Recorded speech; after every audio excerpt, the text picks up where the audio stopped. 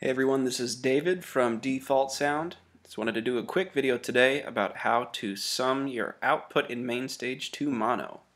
If you're only sending one output to your front of house, then you definitely need to sum your output to mono. Most of the plugins and effects in MainStage are stereo. If you don't sum to mono, you're going to lose half of that image. If you're using a stereo delay or stereo reverb, half of that sound is going to be lost. So here's what you do find the output that you're using. Most of the time that's going to be output 1 and 2. And the very last plugin under audio effects on that output, we're going to go to utility, select gain.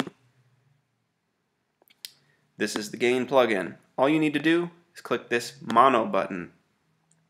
Now all of a sudden, no matter what you feed into that final output, the gain plugin is going to sum it to a mono signal. So you can pan that output left or right, leave it center, no matter what, it's going to be the same either way.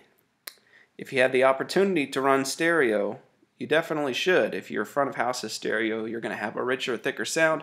But if you're only sending one output, if you know channel inputs on your board are limited, or if it's just not a stereo room, then make sure that any concert uh, you open and use uh, is summed to mono using the gain plugin. All right, if you got any questions, give me a holler and let me know. Thanks for watching. Have a good weekend.